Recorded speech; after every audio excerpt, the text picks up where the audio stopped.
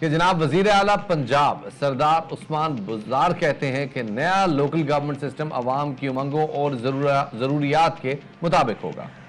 वकला में से हूँ और अपनी बिरादरी के मसाइल खूब समझता हूँ। चिचावतनी में मुख्तलि वफूद से मुलाकातों में वज़ीर अला पंजाब ने कहा कि डिविजनल हेडक्वार्टर्स पर सहाफ़ी कॉलोनी के क्याम पर अमल दरामद यकीनी बनाएँगे। चिचावतनी और हपा जैसे शहरों को माजी में नज़रअंदाज किया गया। हमारी हुकूमत महरूम शहरों में तरक्की लेकर आएगी। पसमानदा शहरों की किस्मत बदलने का वक्त आ गया है। पंजाब के हर शहर में जाऊँगा और आवाम के मसाइल सुनूँगा। आवाम और कारकुनों की मोहब्बत मेरा असासा है। फरामोश नहीं कर सकता। आवाम की महरूमियात दूर करके दम लेंगे। कहना था जनाब वज़ीर आला पंजाब सरदार उस्मान अहमद खान, बुजदार का।